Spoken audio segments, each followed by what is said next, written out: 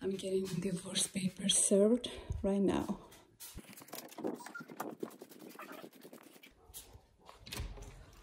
Hello. Hello, Claudia. Yep. Yeah, just dropping off the legal doc. Okay, thank you. Thank you. Have a good day. You too. Uh, whenever you want me to start moving your stuff, let me know.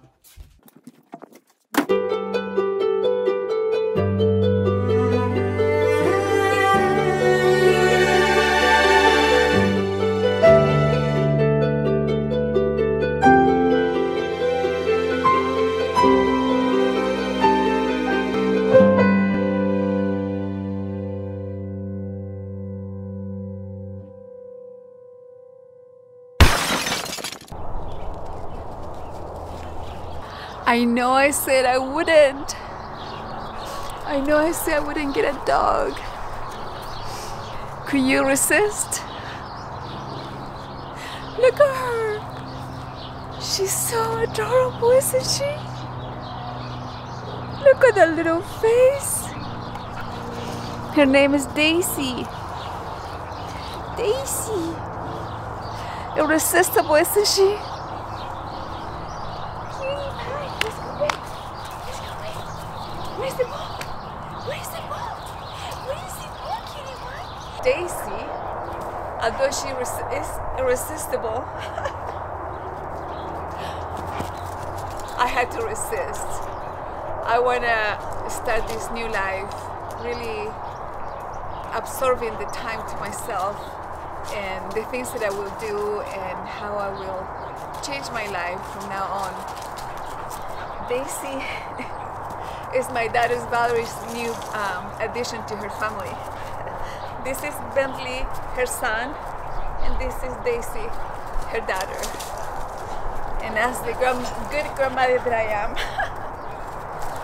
I'm here in Provo, dog sitting, while um, Daisy is still a baby. You see, there's really no reason to feel sad.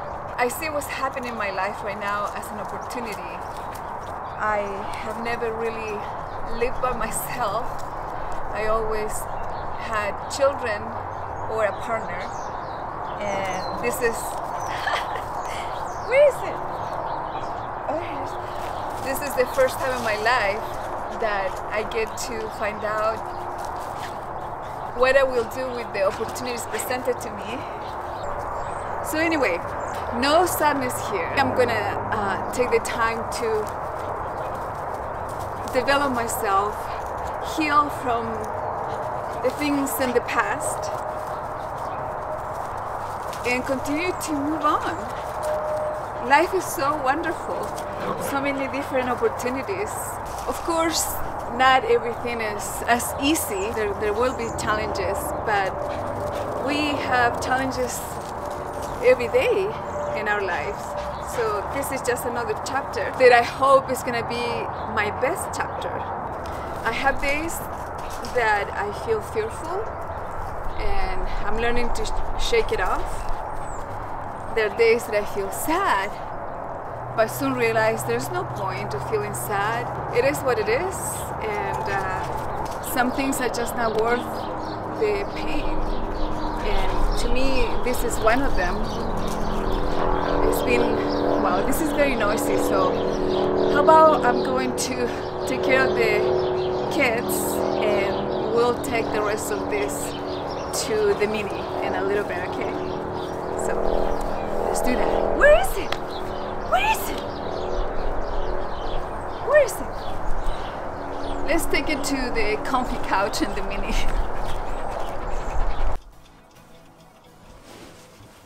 I'm back. What I was trying to convey earlier is that although this is a difficult situation because I have to figure out so many things about my life now, I don't take it as a something negative. Actually, after the initial shock or being lied to and realizing that perhaps no much of the experiences lived were true, after the initial shock, I started to realize that for me, this situation is actually a great opportunity. an opportunity of a lifetime because in my life, I have never been alone. When I was younger, I was always a mother or a partner. So for me, I really want to give myself this time to grow and to be alone. I am not interested in pursuing relationships, romantic relationships. I just want to take time to breathe and figure things out at my pace and construct and build a life, a life that reflects who I am, my efforts. So I'm excited. I'm excited about the future. Don't be sad for me. I feel that it's a true new beginning and it's actually a gift for me. I'm optimistic. I have a lot of faith in the things that I can accomplish. I have a blank canvas and I'm very interested to see what I will do with it. I wanted to share with you what the struggle was, and I wasn't ready to communicate that before. But I didn't want to leave you hanging. That was my struggle. It wasn't so much of the suffering of the broken relationship because that was coming and I knew it. I was served with uh, divorce papers. I didn't initiate the divorce because even before we got married, I told him that it took us a while to get to that point of deciding to get married and that if for any reason there was a possibility of a divorce I wasn't going to spend my time and energy to file for it that he needed to do that that is the reason why I was served with divorce papers and I knew because I was expecting that any day. But again, don't be sad for me. It's a great opportunity of a new life, and I'm so excited because I am in a position that I have never been before, and I'm looking forward to all the many things to come. And I know sometimes it would be difficult, but difficulties have never faced me. So let's keep moving forward. You, me, all of us. Suffering is part of life but it doesn't have to be the state of our lives. I invite you to overcome your own struggles and, and choose to be optimistic. We are in a time of so many opportunities and so much knowledge and so many resources.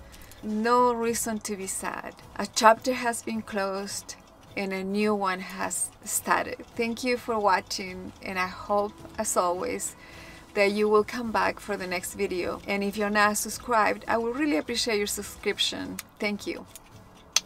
Ciao.